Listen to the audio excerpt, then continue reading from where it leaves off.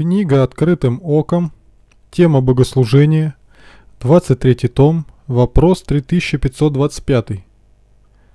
У нас батюшка не подает крест, чтобы все оставались после литургии на молебен, который кто-либо заказал.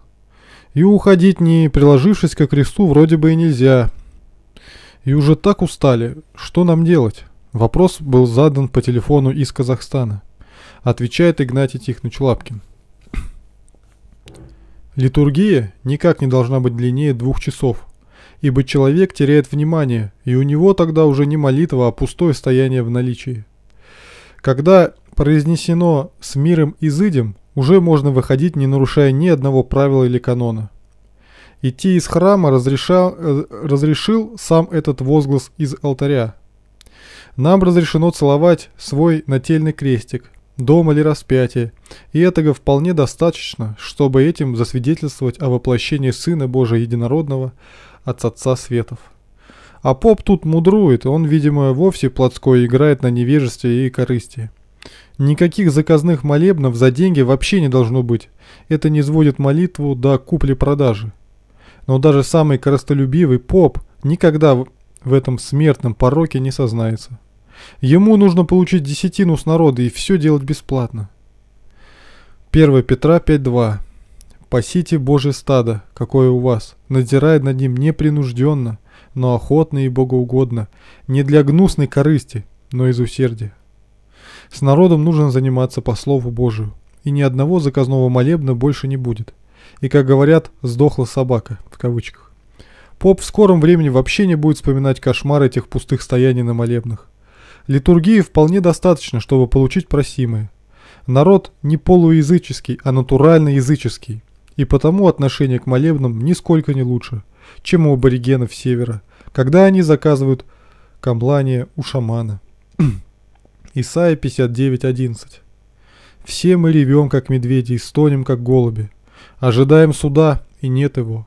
Спасение, но оно далеко от нас. Исайя 1.15 и когда вы простираете руки ваши, я закрываю от вас очи мои. И когда вы умножаете моления ваши, я слышу, я не слышу. Ваши руки полны крови. Стихотворение. Пугаясь мертвых сами мертвецы, буквально и в духовном рассмотрении, чуть приболел, продуло и простыл, и коварком отпущенное время. Мы смертны, слабы, дико уязвимы. Любой микроб дырявит организм. С трудом бредем, переживая зимы, и лето ждем, как сдохший коммунизм. Индивидуален каждому подход, у смерти, у болезни захолустной. Нам не дожить, как дед, до 900. Лет через 70 в жилище нашем пусто. Мы смотрим фильмы и шуршим газетой. В учебниках роятся имена. Все бывшие по статусу лишь предки, посеяны землю в землю семена. Все мертвецы, на кладбище, как их прах. Но сами где их сущность, то есть души? Богатством тешились, блудили на пирах. Среди купцов казался хватом ушлым. Все изменилось сразу же по смерти. Вопит и стонет в огненной стихии. К живущим крик, но кто ему поверит? Неверию утвердилось, не сдвинется махина. Мертвящий ужас, вопиющий глаз. В пустыне мертвецами заселенный. Не надо виноватить только власть отступниками прозванный с. Что пользы к мертвым руки простирать? Канонизация чужих грехов нам в сладость. Мертвее мертвого с кадильницей пират. С ним только смерть умеет быстро сладить. Иисус есть жизнь, рождающая свыше.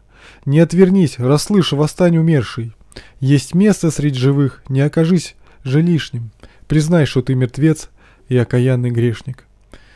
2007 год. Игнатий Тихонович Лапкин.